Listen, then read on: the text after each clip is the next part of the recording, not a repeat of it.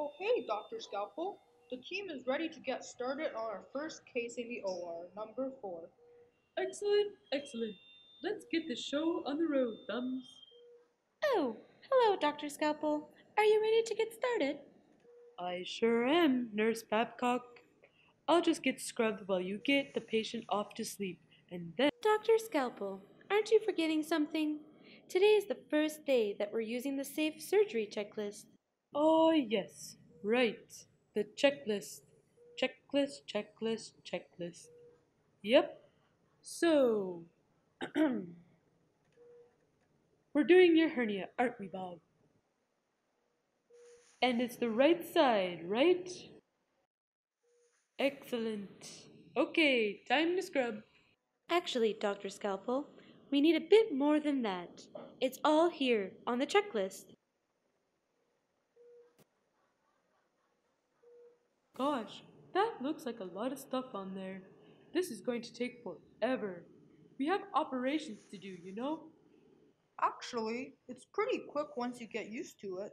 I usually don't even need the plastic sheet to remind me. Thumbs, have you done this checklist before? Yes, boss. All of the other surgeons are already using it. Really? Well, if everyone else is using it, I better keep up.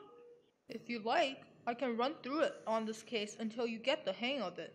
Would that be okay, Nurse Babcock? Well, this first part is surgeon led, but I suppose it's okay if you just do this one until Dr. Scalpel gets the hang of it. Excellent, excellent. Take it away, Thumbs. Okay, let's go. We have the whole team here, right? We need everyone for this first step, including the patient. The patient is part of the checklist too? I sure am. It's good to know you guys check all this stuff. Okay, let's get started. Bob, we're going to run through a few questions on our safe surgery checklist. Can you confirm your name for us? Um, it's Bob. Thanks, Bob. And what operation are we doing? Um, aren't you supposed to know that? Well, yes, we do. But we're just checking that everyone is on the same page. We wouldn't want you to have the wrong procedure, will we? No way. I'm having my hernia fixed. Super. And what side is it on? The right side. I drew a smiley face on it for you. Great. Right inguinal hernia confirmed.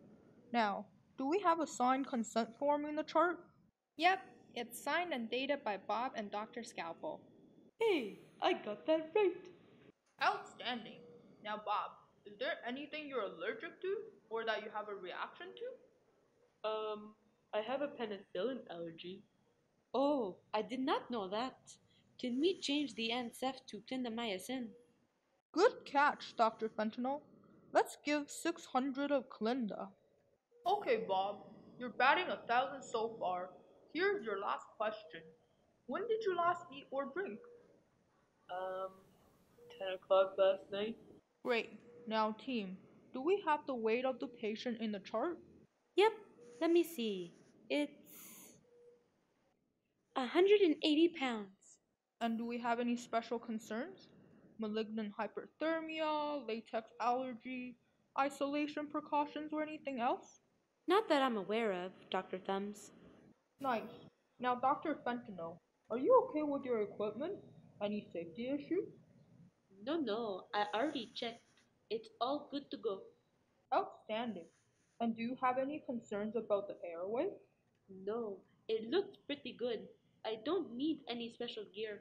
Right. Dr. Scalpel, you're up. At last. I thought we would never finish. Can we scrub now? Um, almost. We just have a couple more items for you on the checklist. Oh, okay. Do you need any special equipment for this case? Any prosthesis or a warming device? Or any special instruments we need to borrow? I don't think we need anything special. Just the usual hernia set. We have that, right, Nurse Babcock? Yep, it's your usual set. Okay then. Last question. Do we need any other information before we start? That includes lab work, pregnancy tests, blood for cross match, and x rays. I'm pretty sure I'm not pregnant. And we don't need any blood. I think we're good to go. Okay, team. Does anyone have any other concerns before we start? Nope. No, no. I don't. Um, nope. Not me.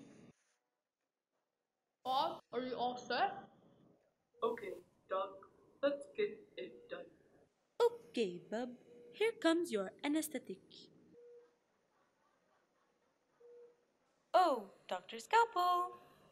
Yes, nurse. Next time, you'll be leading the checklist yourself, right? Yes, nurse. Hey, Thumbs. Thanks for helping out in there. Hey, it's pretty easy. You just have to read it off the card. Plus, the team will help you out if you get stuck. Don't you think it's weird to be doing it with the patient awake and everything? At first I thought so, but I think most of them like it. It makes them feel safe, and it shows patients they can really trust us. I suppose it is a good idea to check everything is ready, instead of getting a surprise in the middle of a surgery. I heard that the checklist is helping us prevent errors and making sure that big operations go more smoothly. Plus, it's good to know we're part of a team. We all have your back, Dr. Scalpel. Yeah, our team is really great. Maybe this checklist thing isn't so bad. Come on, you two. Stop chatting and get in here. We have operations to do. Coming, Nurse Babcock. Let's go, Thumbs. A surgeon's work is never done.